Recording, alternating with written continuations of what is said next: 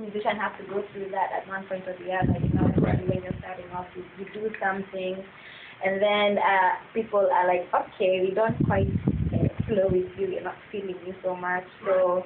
I mean, it was a learning curve for me. Right. It got played by one DJ okay. because he was my friend. Right, it got played for exactly three days, and then it was it was it was pulled off. But then um, after that, the first song I can say that ever got like serious airplay was "Lying."